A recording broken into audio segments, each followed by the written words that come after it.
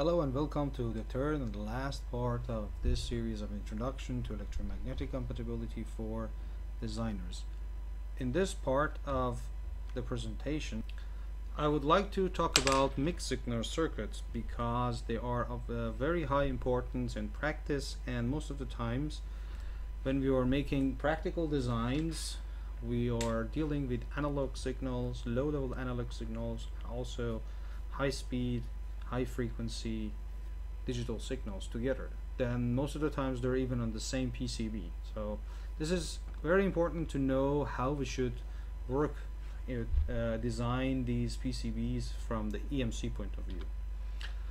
So as we said, some systems are mixed signal circuits and uh, they contain both analog and digital circuits and the mixed signal circuits have microcontrollers FPGAs or microprocessors or digital signal processing devices and also uh, uh, analog to digital converters or digital to analog converters voltage references filters and operational amplifiers. So it means digital circuitry clocked digital circuitry and also uh, analog circuits. And the problems with mixed signal circuits is usually that either digital logic circuits interfere with sensitive low-level analog circuits like often audio or radio frequency and also high power motor or relay driver noisy analog circuits which interfere with both the digital and analog circuits.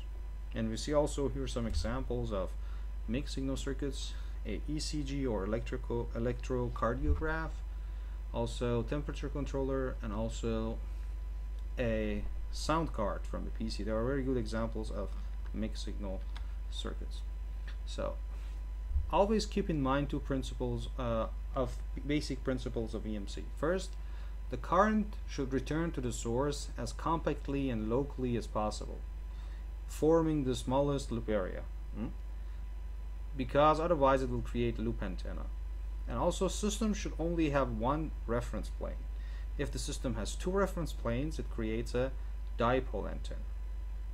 The key to determining the optimum mixed signal board is understanding where and how the current return flows, or return current sorry, flows.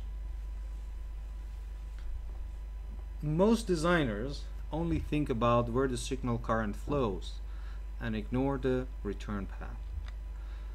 So the first mixed signal issue is that the digital return currents interfere with analog signals, as we said.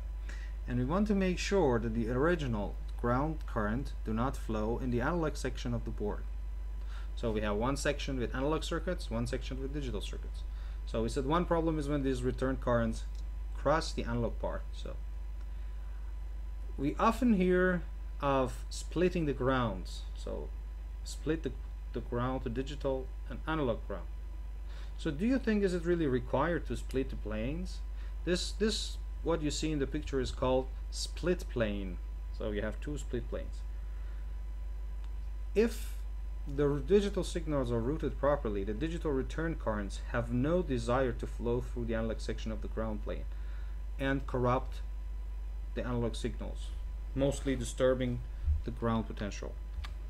So it is not necessary, it's, it's important to note, it is not necessary to split the analog and digital ground planes. Therefore, it's wise to use one solid ground plane and partitioning the PCB into analog and digital section. So you do not need to do that, although you can, but there are some techniques and some important things that you need to have in mind, but this is not necessary. And the digital signal must be routed only in digital section of the board. So if you see in the picture, you have two sections of the board, the digital section, and you have a digital trace. And you, you want the return currents to be just in the digital section. So you do not route like this in the analog section. Then the return currents will go from there.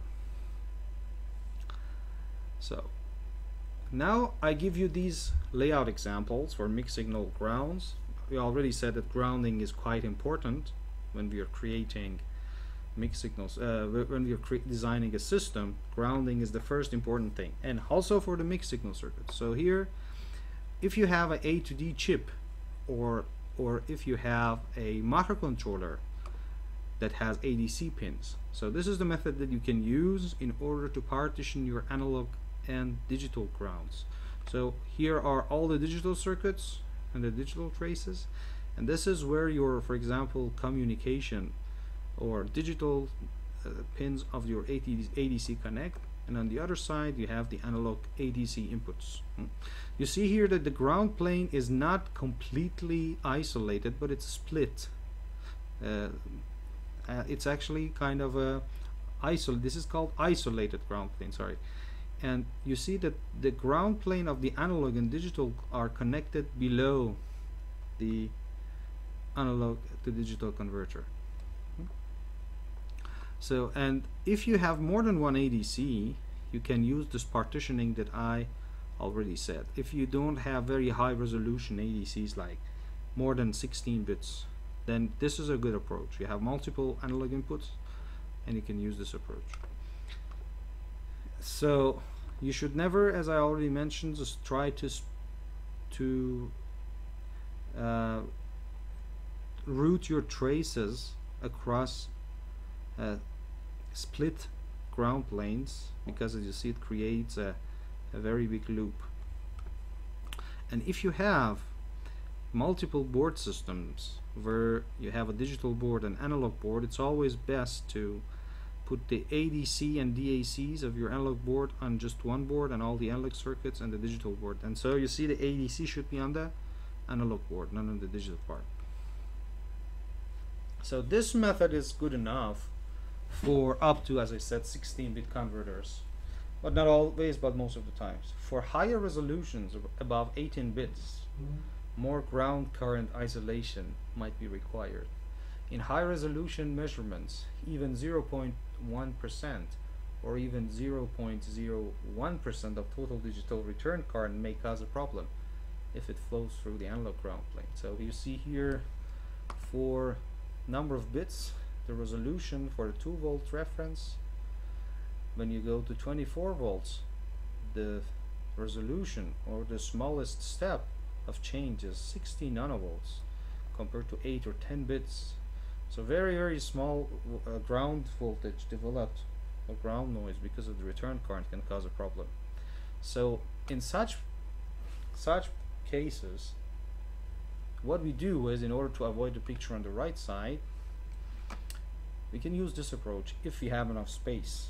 We can use isolated ground plane for multiple ICs so we create kind of uh, ground semi-islands that are just connected below the ADC so there's no way here now that the return currents can flow through the analog section. So this is the first method. The other method that you can use is called uh, vertical isolation. I don't think I have a picture of it here in this presentation, but it means that you put your analog circuits with one reference on top, for example, with the analog reference on the bottom, so you just connect your analog grounds to that second layer ground reference, and you put your digital circuits on the ground level or on the uh, sorry, the bottom of the PCB and also then another reference ground if, if you have a four layer PCB for example and you connect the digital grounds to that plane. And you connect the analog and digital planes just where the power enters your board so this is where they are connected so the return currents do not interfere so you see here this is very good representation of how this current is distributed when you have high resolution so this very small currents even very low percentage of the current can go into the analog section.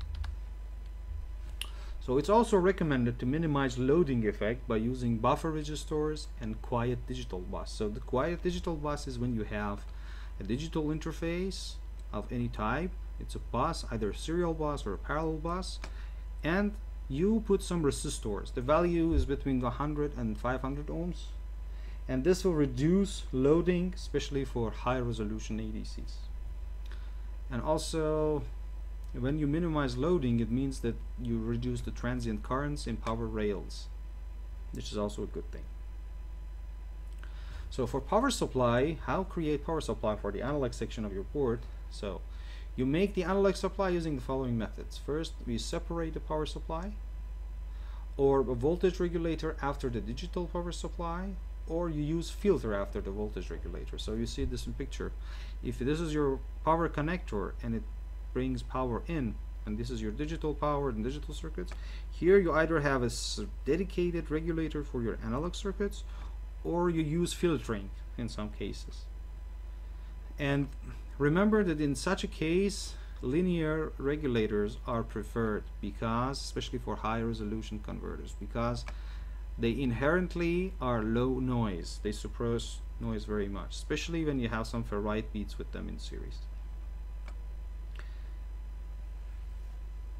So when you're using a filter this can be either a global filter like here it's a global filter for all the sources or if you have like high currents very high speed ADCs then you can use uh, also local um, in for individual IC filtering. So individual filters for the power supply and also global filters so that you form a higher level filter. And also you do it for both the analog and the digital ground here also shows a mixed signal IC and how the decoupling capacitor is connected.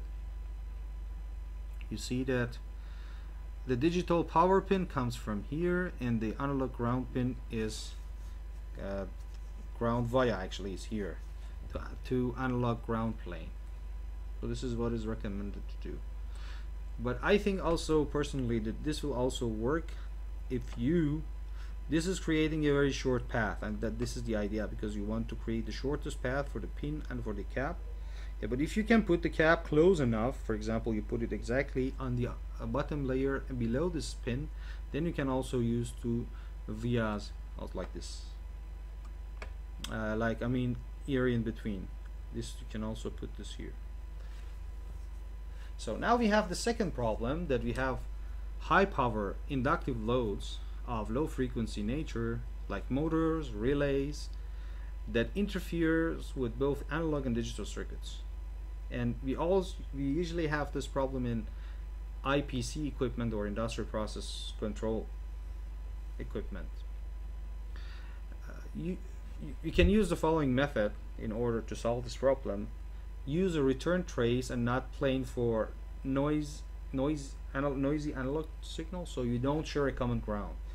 So if you have relays or motors, for them you create traces.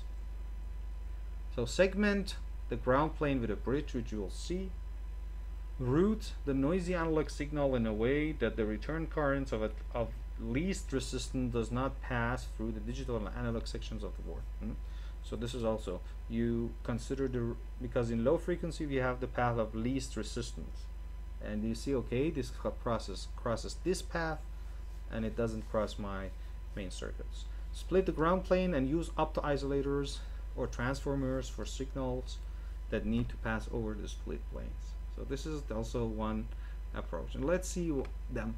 So this is the bridge when you have your digital circuits or analog circuits and then you have a high power motor driver or relays and the point is that usually in such cases you you enter the power from these uh, from this side because you don't want the power to go all the way through this bridge but this bridge here is just to send the control signals and our communication signals. So if you have, for example, here some MOSFETs switching high, very high power loads, then this mode will avoid the return current to go back through here. Hmm? So this is this is the idea that the return currents will not go through here because they try to take the least the path of the least resistance and so so they go like out from there. And you can also use an example for a digital for a I don't know digital ground plane in a plug-in card like I/O modules of PLCs for example. You can use these cables to the motors or, or sensors and things like this or relays and here you have the opto couplers that isolate the primary and the secondary. So there's one very important thing here and it's if you are routing a digital trace it should not cross this split plane. And also you should make this split plane the same potential as your ground plane. So if you are using let's say 24 volts and then you step it down to 5 or 3.3 volts for your digital circuits. Then on this side also you should either connect your 24 volts and the same ground or if they don't have the same ground then you should connect you should put one at least one capacitor from the primary to secondary so that uh, the so that this so that they become at the same potential at high frequency. Otherwise it is probable that your secondary or your primary plane has a different voltage and then it will radiate with respect to the other. And that's why we, we don't want this to happen. So if you have just one power supply then you connect the ground separately here one ground for here with one wire and one wire from here. Or if you don't have this and for example this is like a power supply an isolated power supply then you should put some capacitors that will connect the primary and the secondary ground okay let's get to the stack up and PCB layout so as I already mentioned, StackUp plays a very, very big role in success or failure of a PCB design, and that's what we're going to look at here. StackUp means ordering of layers and layer spacing. And as I said, P PCB StackUp plays a key role in the overall performance of a system. A good StackUp will boost the PCB performance, especially in radiation problems. So the following factors are important with respect to board stack up. The number and type of layers, the ordering or sequence of layers, and the spacing between the layers. And determining the number of layers depends on the number of signals and the cost of the PCB, clock frequency, emission requirements, shielded or unshielded PCB, and also EMC knowledge and expertise. But as a general rule, that's why they always say it's better to use multi-layer PCBs. A four-layer PCB will be much better than a two-layer PCB when you have ground and power planes. So, when you're designing single and double-sided boards, single and double-sided PCBs are chosen for cost and not EMC considerations. For frequencies below 10 megahertz, we use them normally. For higher, it's not recommended if you're using high frequency circuits directly implemented on your PCB. You might have high frequency modules that you just connect them to a two-layer PCB, then that's fine. But if you're like want to implement a very high frequency circuit on that, it's not a really good idea. Use ground and power grids and not plane for such boards. You cannot do this as I already explained because you will need the top and bottom to route your circuit so it's not possible that you create planes. So you create power and ground grids, as we explained before. First, route the critical signals and make them as short as possible with the adjacent return trace. Clock and buses should have a ground return trace on both sides of them. So when you have clocks and buses, if you're not using ground field, if you're not filling your empty space of your PCB with or even if you're feeling this you should be careful to put ground return traces on both side of your traces so when you're feeling it with ground then you should route this afterward or changing it afterward in a way that on the both sides it's covered with ground. Place a small ground plane under under the crystals or oscillator sorry this is a repetition. Decouple the VCC of all clocked ICs with the LC network. So if you have a LC network, uh, sorry, if you have a, um, clocked IC, try uh, try to use, and also especially these uh, oscillators, use an LC network. L here is the ferrite bead. Fill the unused board area with ground but make sure they are connected to your ground at multiple points this is also another important thing if you're using ground feel if you feel the empty space of your two layer board with after you create your ground grid put a lot of vias in it so that it creates the lowest amount of impedance if you're having ICs which is normally the case use a minimum of two decoupling capacitors per IC and place them in opposite side of the IC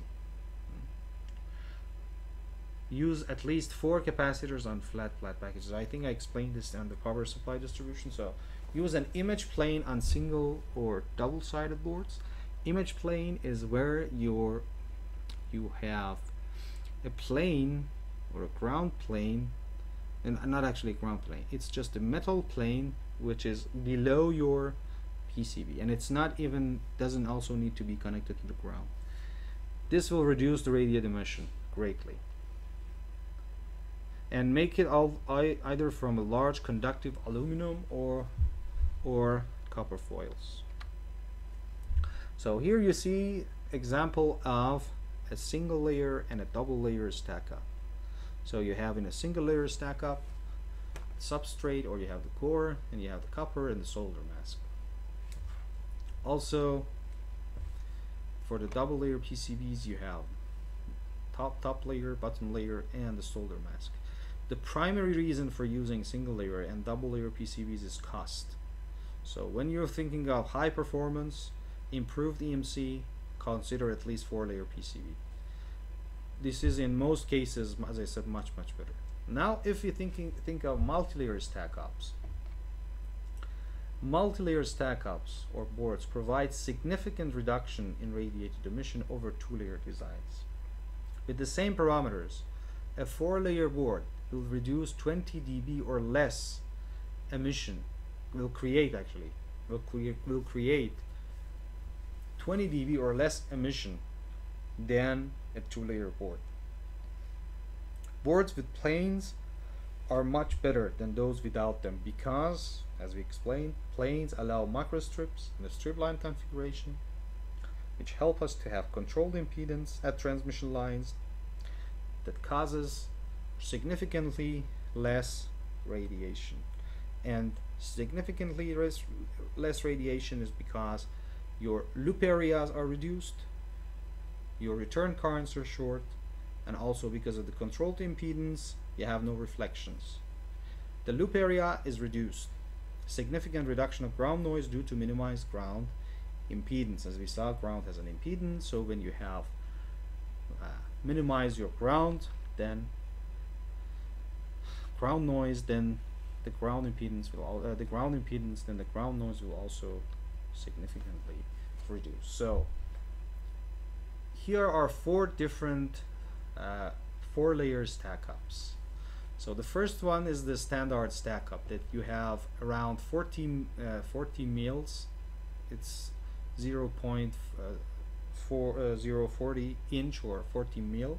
So you have 40 mil and then 10 mil between the planes and the signal signal layers and you have one ground plane and one power plane so this is the standard four layer this is much better than a two layer PCB but it will be better if you can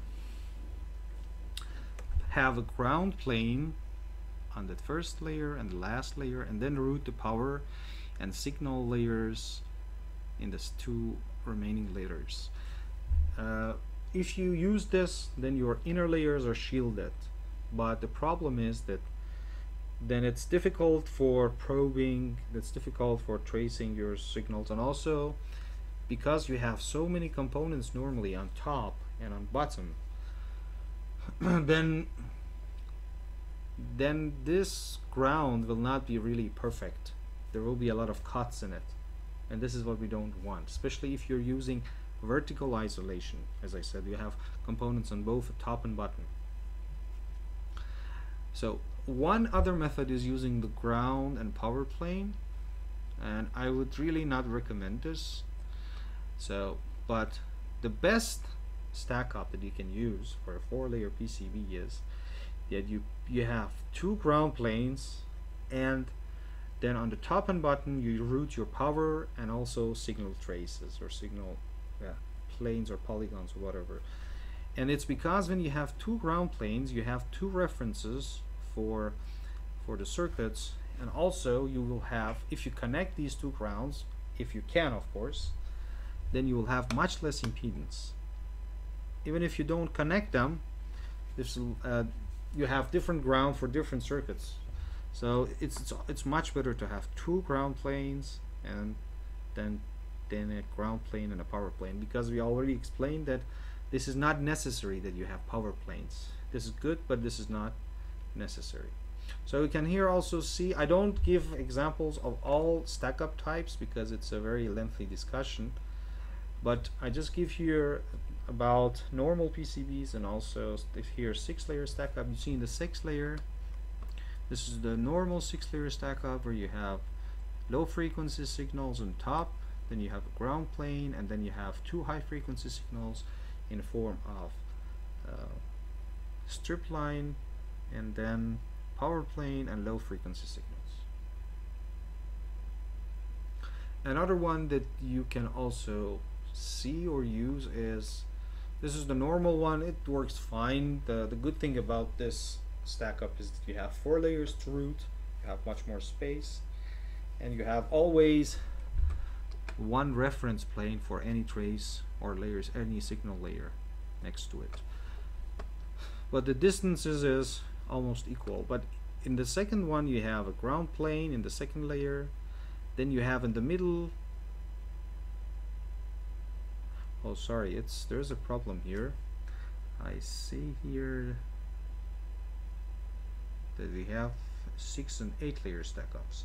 So let's let's get here. So this is a another uh, version that you can have and it's maybe better that you make the signals and much closer to the plane and creating a big distance here at the core. So you have power plane signals and signals on both sides. Ground plane power plane. Even though I would recommend in such a case you have a ground plane ground plane and use the signal for also power. Here also you see uh, eight layer stack up. So in eight, eight layer stack up is like this as you see you have multiple ground planes. This is a very good good one. You have three ground planes in this one you have two ground planes and also two power planes which I would say the second one is most of the cases not really necessary that you have multiple ground uh, power planes. If if it's possible you can really route these power planes. It depends but most of the times you can route them in the signal planes but the thing is that here you see it's kind of the stack up is always kind of symmetrical. So if you have low frequency signal on here also low frequency signal at the end. If you have then a power plane you have also at the end a power plane. If you have a ground plane you have a ground plane. And so on and so forth. And also you have the high frequency signals here in form of yeah, asymmetrical again. Strip line so partitioning. There's a famous saying for that all PCB designers know and it's that 90% of design is placement and 10% is routing. So this is very important to partition your circuits properly so that the routing is just easy. So you should partition your PCB in logical blocks. So you have high speed and logic and clock and clock drivers and memory then you have low speed logic for example you have video you have audio and low frequency signals you have input output drivers and then I.O. connectors and filters common mode filters it's always good to avoid your high-speed logic and memory close to I.O. area. Place crystal and oscillators as close to the ICs as possible. Also, if they have these oscillators, as I said, use a filter at their input. Proper PCB partitioning will minimize trans length and as a result reduces the board emission because then you have smaller loops. So here's an example of the concept of PCB partitioning. You have here your digital circuits, your motor driver, your power supply, and you have the input power and the I.O. cables. and the Wi-Fi Bluetooth, GPS, and cellular are on the other side of your board. So you have partitioned your PCB into RF, digital, and power, I would say. It's just motor control and power. Yeah, motor control and power supply, and also the I/O. And you already see that the I/Os on the cables are just on one side of the PCB, and this is in order to reduce the common mode radiation. So 90% of the PCB problems are the result of just 10% of the circuit. So for emission, high frequency, fast, rise time, uh, fast rise time digital circuits with repetitive, uh, repetitive signals such as clocks, buses, and some control signals are the, are the greatest problems. Clocks are usually the worst case. Get paranoid about them. So, so here in this picture, you see in a two, 3D and 2D view that we have uh, that here we have a crystal oscillator and you see that I tried to make the trace which goes to the input pins of the IC as short as possible and also I covered around the oscillator with kind of a ground island. Keep the uh, clock trace as short as possible. For best placement routing, place and route the clock first. So think of when you're doing placement first, think of the clock and other critical signals. Place a ground plane on the component layer under the crystal of the oscillator and connect it to the main ground plane in several points. This is what I've done here. I've put it in, I've connected this at six points to the ground. Even though it would have been better if, see here for example, you see a top layer, this is four connections, but it's just one so I should maybe extend this should have extended this layer a bit or more so that it's fully connected okay? That's almost everything and thanks for your time and consideration. I hope this has been useful. Of course this is not enough. You have to also study from your side. But I think at least you have now an idea what you should do and uh, what actually is EMC and what aspects of the EMC you should keep in mind. So now I will show you an example PCB which I designed which can show you different aspects of the things that I said. So let's get into that.